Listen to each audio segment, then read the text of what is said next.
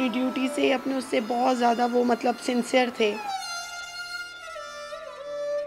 ख़त्म हो गई है हमारी फैमिली हमारा भाई चला गया, उसकी छोटी छोटी बच्चियाँ हैं।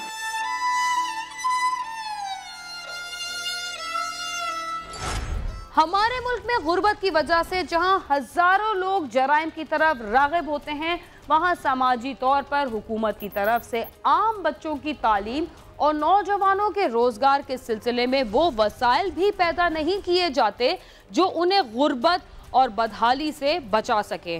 शायद इसी वजह से ज़्यादातर बच्चे या तो कम उम्री में जराइम की दुनिया के हत्थे चढ़ जाते हैं या तालीम से फारिग होने के बाद बहुत सारे नौजवान बेहतर नौकरी ना मिलने की वजह से जराइम की दुनिया का हिस्सा बन जाते हैं।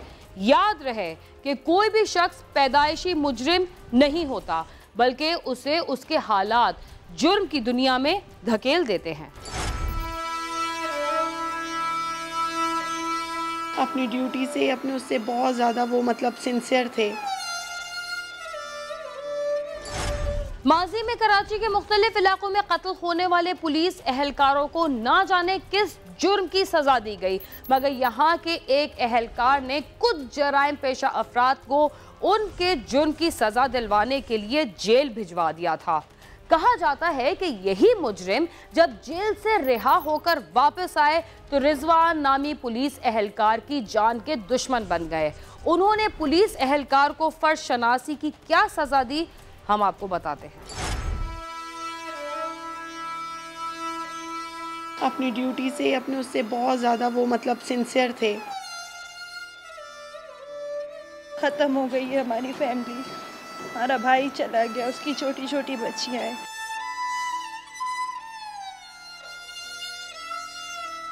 मुजरिम की गिरफ्तारी और उसकी फ़र्ज़ शनासी।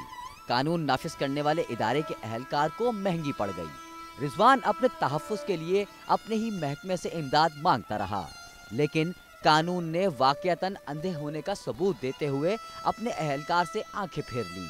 और उसका भी वही हाल हुआ जो कराची में एक बेबस शहरी का होता है। 11 नवंबर को क्राइम ब्रांच वन से ड्यूटी खत्म करके कांस्टेबल रिजवान अपने घर जाने के लिए निकला और नॉर्थ कराची में सलीम सेंटर के करीब मोटरसाइकिल सवार मुलजमान ने रिजवान अहमद को गोली का निशाना बनाया। रिजवान की आठ साल कबल शादी हुई थी और वो दो बेटियों का बाप था। मेरा तो बच्चा बहुत अच्छा था, बहुत अच्छा। मेरी एक ही बेटी और बहुत कम उम्र है वो। बहुत छोटी है अभी। अभी शादी को उसके आठ नौ साल हुए क्या करें क्या बोलें उसके बारे में फरिश्ता सिर्फ़ मेरा बच्चा था वो। उसकी हलाकत की खबर घर वालों पर कयामत बनकर टूटी। मकतूल की सास ने क्राइम सीन की टीम को बताया कि जालिमों ने उसका बेटा छीन लिया है। तो ये पता चला जो पे से आ रहा था और फिर अस्पताल से फ़ोन आया था किसी का ना कि यहाँ पर आपका बेटा मतलब इस आया है और उसने बताया है। तो फिर मेरे बेटा गया तो वो हॉस्पिटल में था मगर वो इतनी बात नहीं कर सका उसके बाद इतना वक्त ही नहीं था कुछ बता ही नहीं सका। कॉल आई थी हॉस्पिटल से कि भाई के साथ ऐसा ऐसा हो गया उनकी मदर को आप बता दीजिए। तो पहले तो कुछ समझ नहीं आया फिर चचाओं वगैरह के पास फ़ोन गया फिर डेथ की न्यूज़ ही आ गई थी कि एक्सपायर हो गए वो। मकतूल रिजवान की बहन का कहना था कि उनके भाई की किसी से दुश्मनी नहीं थी। जिस तरह हमारे साथ हुआ खुदा करे किसी के साथ भी ऐसा ना हो। जालिमों ने हमारी दुनिया ही उजाड़ कर रख दी है। ख़त्म हो गई है हमारी फैमिली हमारा भाई चला गया उसकी छोटी छोटी बच्चियाँ हैं। बहुत छोटी हैं बहुत गलत किया जिसने भी किया। बस अल्लाह इंसाफ करेगा अब इसका। उनका तो दुश्मन कोई हो ही नहीं सकता। जिस नेचर के थे वो हो ही नहीं सकता। बच्चा बच्चा तो उनका दोस्त था। नहीं हो सकता उनका कोई दुश्मन। अपनी ड्यूटी से, अपने उससे बहुत ज़्यादा वो मतलब सिंसियर थे।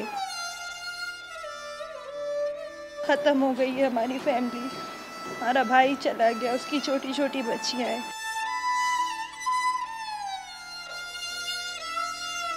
रिजवान के कत्ल का मुकदमा सर सैयद थाने में दर्ज कर लिया गया। इब्तदाई तौर पर इस कत्ल को डकैती के दौरान मजम्मत का नतीजा करार दिया गया। देखिए बुलेट तो एक ही लगा है उसके और ये समझ लें कि सीने की तरफ़ से लगा है और कमर में गया है। और आमतौर पर इस नेचर में ये देखा जाता है कि वो भी ये कोशिश करते हैं कि ऐसी जगह पे फायर करें छीनने वाले कि टांग में गोली लगे घुटने में लगे, हाथ में लगे कि उनको जान छुड़ाने का मौका मिल जाए। और कोई भी स्नैचर इस नीयत से नहीं निकलता कि मैं बंदे मारूँगा। लेकिन तफ्तीश के आगाज़ में पता चला कि इसके साथ डकैती की वारदात नहीं हुई। इसलिए कि उसके पास मोबाइल फ़ोन समेत तमाम चीज़ें मौजूद थीं। देखिए स्नैचिंग का अगर मामला होता है ना तो ज़ाहिर बात है स्नैच किया जाता है, छीना जाता है। और जाए वकू पे जो रिजवान अहमद है, इसके पास मोबाइल भी इसका मौजूद था। और इसका वॉलेट भी था और फौरी तौर पे जो है ना, लोग जमा हो गए, एक रश का इलाका था। और मतलब जिस बंदे ने फायर किया, उसका मतलब ये था, ऐसी रश के इलाके में स्नैचिंग नहीं होती। मकतूल के कत्ल की तहकीकात करने वाले अफसर ने बात करने से इनकार करते हुए बताया कि हम मुलजमान के करीब पहुँच चुके हैं और बहुत जल्द उन्हें सामने लाया जाएगा। शुभ ज़ाहिर किया जा रहा है कि जिन मुलजमान को 2013 में मकतूल रिजवान ने डकैती के दौरान पकड़कर पुलिस के हवाले किया था वही उसके कत्ल में मुलविस हैं। एक 2013 की बात है कि वो अपने इलाके से गुजर रहा था तो उसने देखा कहीं स्नैचिंग हो रही है। चूँकि इसने वो बंदे पकड़े थे रेंजर्स के हवाले किए या जिस तरह से भी किया उस पर एफ़ आई कटी उस एफआईआर का नंबर था 178 179 और इसमें जो दफात थी वो डकैती की थी और उनके पास से वेपन निकला था। 179 जो थी वो तेईस वन ए जिसको पहले तेरह डी कहा जाता था वो था। पुलिस जराये के मुताबिक क्राइम ब्रांच के अहलकार रिजवान के कत्ल के शुबे में दो मुलजमान बिलाल और हबीब को गिरफ़्तार कर लिया गया है, जिनसे तफ्तीश की जा रही है।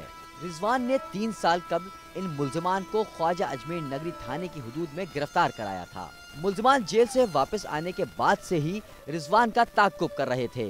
ताहम पुलिस मुख्तलिफ़ पहलू से कत्ल की तफ्तीश कर रही है। कैमरामैन नईम खान के साथ खुर्रम गुलजार, समा कराची।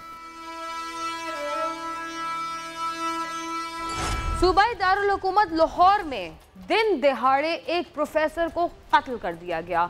नामालूम मोटरसाइकिल सवारों ने अंधाधुंध फायरिंग की और फरार हो गए। गवर्नमेंट साइंस कॉलेज के प्रोफेसर को क्यों हलाक किया गया, इसका पता नहीं चल सका।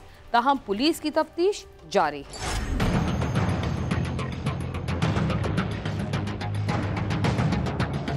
बंदे दो आए हैं उन्होंने इनको फायर फायरिंग की है और इनको कत्ल किया है। बच्चों को छोड़ने नहीं आए थे पौने आठ बजे। इंसाफ भी आज। छोटे छोटे उनके बच्चे थे।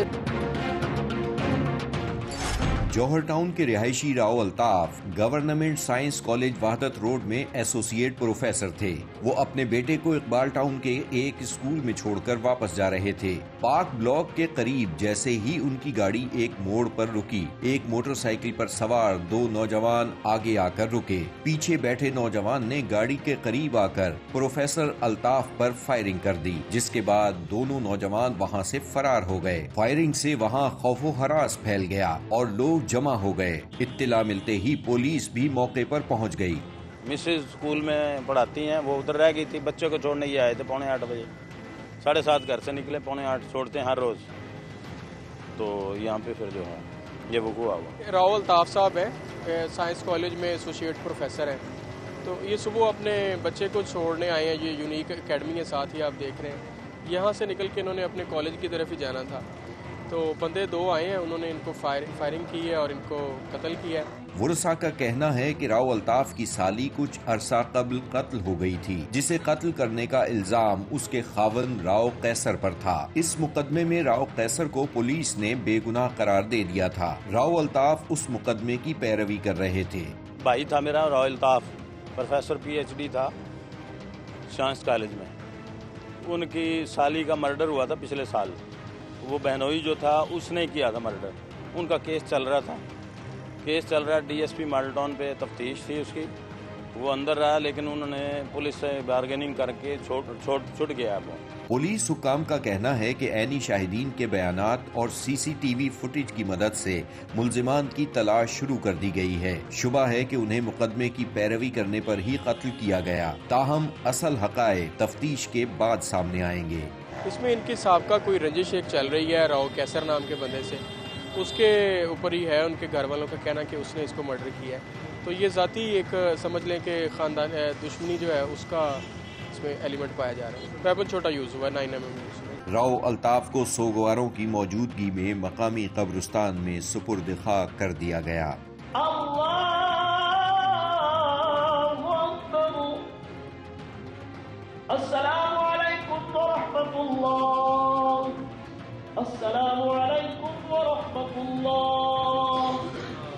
वज़ीर अला पंजाब ने पुलिस हुकाम से वाक़े की तफसीलात तलब कर ली हैं, जबकि वर्षा ने मुतालबा किया है कि कातिलों का जल्द अज जल्द सुराग लगाकर उन्हें गिरफ़्तार किया जाए।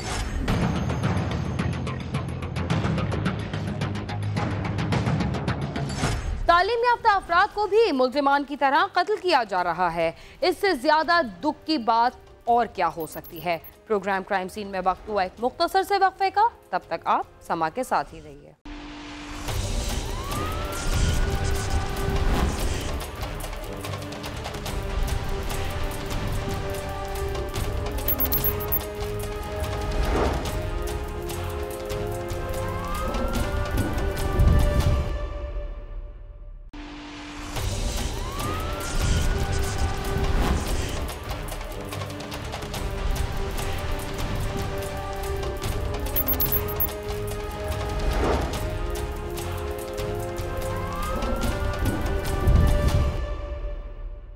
प्रोग्राम क्राइम सीन में एक बार फिर खुश पाकिस्तान में बच्चों के हकूक की सूरत हाल इंतहाई हद तक खौफनाक है। बच्चों के पास ना तो खेलने के लिए पाक हैं, ना ही उन्हें तफरी के मौाक़े मैसर हैं। यहाँ तक कि उन्हें तालीम की बुनियादी हकूक भी नहीं मिलते। हद तो यह है कि लापता होने वाले बच्चों की तलाश के लिए कोई सरकारी इदारा ही मौजूद नहीं। आइए देखते हैं कि हमारे मुल्क के बच्चों के और क्या क्या मसाइल हैं?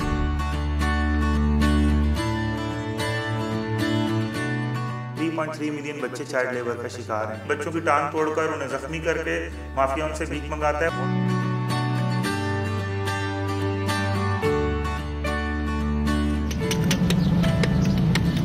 कराची समेत मुल्क भर की सड़कों और फुटपाथों पर आपको हर रोज सैकड़ों नहीं बल्कि हज़ारों बच्चे दर बदर की खाक छानते और मखलूकल हाली की ज़िंदगी गुजारते नज़र आते हैं और इसके साथ दुकानों, फैक्ट्रियों और भट्टों में छोटे कहलाए जाने वाले ये मुरझाए हुए फूल रोज़ाना जहनी और जिस्मानी तशद का शिकार बनते हैं।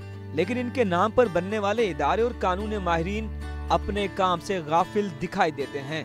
एक अंदाजे के मुताबिक इस मुल्क के ढाई करोड़ बच्चे या तो तालीम जैसे जेवर से महरूम हैं या जहनी व जिस्मानी मुशक्कत का शिकार हैं। राना आसिफ हबीब भी ऐसे ही बच्चों के लिए एक फलाही इदारा चलाते हैं। उनका कहना है कि पाकिस्तान ने उन्नीस सौ नवासी में बच्चों के हकूक के हवाले से एक चार्टर्ड पर दस्तखत किए मगर उस दिन के बाद से आज तक बच्चों के हालात नहीं बदले। पाकिस्तान के आइन में उन्नीस सौ तिहत्तर में ही आ, आर्टिकल 11 में कहा गया था कि 14 साल से कम उम्र बच्चे से ना तो मजदूरी कराई जाएगी ना ही गुलामी उससे कराई जाएगी। स्लेवरी का वर्ड इस्तेमाल हुआ था। और उसके बाद आप देख लें कि पाकिस्तान में जो पहला फिगर आया उन्नीस में, वो तैतीस थ्री मिलियन बच्चे चाइल्ड लेबर का शिकार हैं। बच्चों की टांग तोड़कर, उन्हें जख्मी करके माफिया उनसे भीख मंगाता है। आखिर काम करने वाले मकामात और अपने घरों में इन बच्चों के साथ ऐसे क्या मसाइल होते हैं, जिनकी वजह से ये वहाँ से भागने पर मजबूर हो जाते हैं। आदाद शुमार बताते हैं कि कम उम्र बच्चे अपने घरों, स्कूलों और काम करने वाली जगहों पर पेश आने वाले तशद झगड़ों और दीगर इस्तेसाली वाकत के बायस राह फरार इख्तियार करते हैं, जिसके बाद वो सारी ज़िंदगी सड़क पर गुजार देते हैं या फिर किसी जराइम पेशा ग्रोह में शामिल हो जाते हैं। शहर कायद के रहने वाले, एक तरफ़ नफसा नफसी और खौफ के आलम में ज़िंदगी गुजार रहे हैं और दूसरी तरफ़ इस शहर की सड़कों और फुटपाथों पर पाँच लाख से जायद बच्चे ज़िंदगी के दिन गिन गिन कर काट रहे हैं। जिनका कोई पूछने वाला नहीं है। सबसे बड़ा माफिया जो कराची शहर में जो है, वो सबसे बड़ा बैगर माफिया है, जो बच्चों को फैनर काम का सिरप बना के कराची के रेड जोन में हाँ कंधे से लगा के अगर उनसे भीख माँ मंगवा रही है तो ये सबसे बड़ी बच्चों के हकूक़ की वायलेशन है। इसके बाद आप देख लें, बच्चों की टांग तोड़कर, उन्हें ज़ख्मी करके माफिया उनसे भीख मंगाता है, उन्हें मज़ारात पर बिठाया जाता है।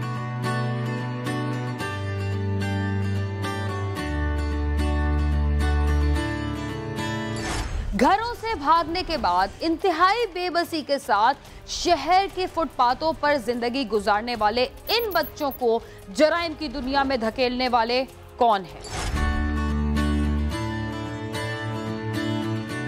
हज़ारों खानदानों के मासूम चश्मो चराग या तो फुटपाथ पर ज़िंदगी गुजार रहे हैं या जराइम पेशा अफराद की अमाज गाहों पर उनके जुल्म सितम का शिकार बन रहे हैं। नौ हज़ार से जायद बच्चे तो ऐसे हैं जो लापता हैं। और ये वो तादाद है जिसकी रिपोर्ट मुख्तलिफ़ थानों में की जा चुकी है। और जिनकी रिपोर्ट नहीं की गई, उनकी तादाद इससे भी कई गुना ज़्यादा है। सबसे बड़ा अलमिया तो यह है कि आज तक हुकूमत बच्चों की गुमशुदगी की रिपोर्ट दर्ज कराने या उनके आदाद शुमार जमा करने के लिए कोई इदारा ही कायम नहीं कर सकी। चाइल्ड राइट डेस्क सदर थाने में कॉस्मेटिक्स तौर पर, दिखावे के तौर पर कायम कर दिया गया। वहाँ पे तैनाती भी हो गई, लेकिन आज भी आप अपना कैमरा लेके सदर थाने विमेन पुलिस स्टेशन जाएँगे और चाइल्ड राइट डेस्क का रजिस्टर देखेंगे तो शर्म के सवा निदामत के सवा हमें कुछ हासिल नहीं होता। हमारे मुल्क में मौजूद बच्चों के हकूक और उनके तहफ़ से मुतल कवानीन पर अमल दरामद ना होने की वजह से बच्चों पर होने वाले जुल्म ज्यादती के वाकयात रोज ब रोज बढ़ रहे हैं। कैमरामैन असद रिजवी के साथ सालिक शाह, समा, कराची।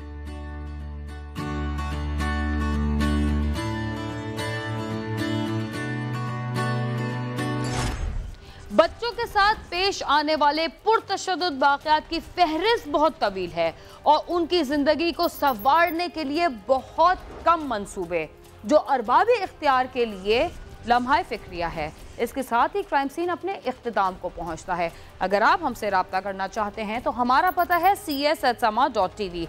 इसके अलावा फेसबुक और ट्विटर पर भी हमसे रबता कर सकते हैं। बीना खान और क्राइम सीन की टीम को इजाज़त दीजिए और देखते रहिए समा।